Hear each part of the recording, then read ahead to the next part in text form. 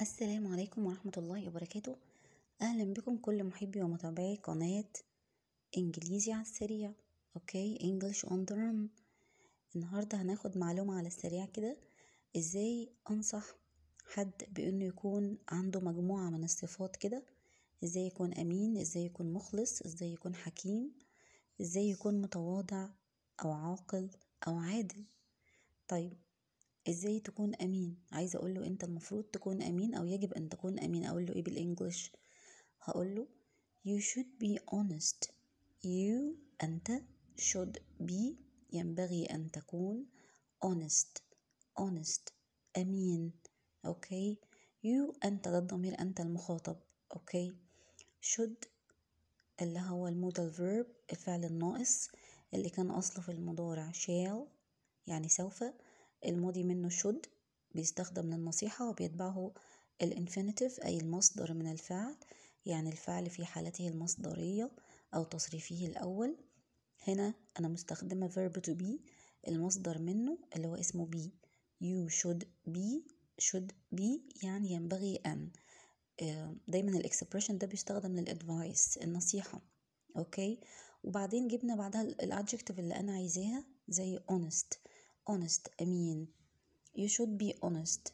You should be honest. ينبغي أن تكون أمين. أنا بنصح حد وبقول له أنت ينبغي أن تكون أمين.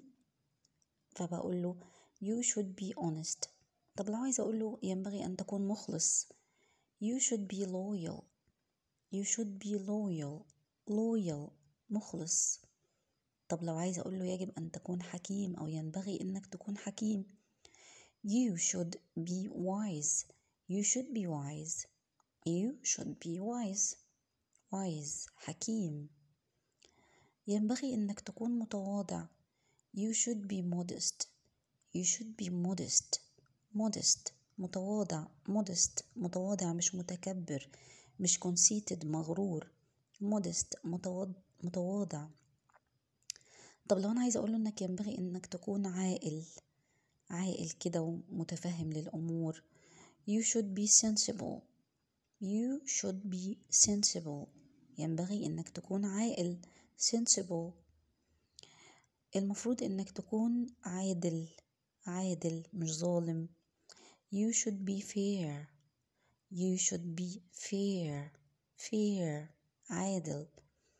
okay عادل يعني اللي هو عنده العدل.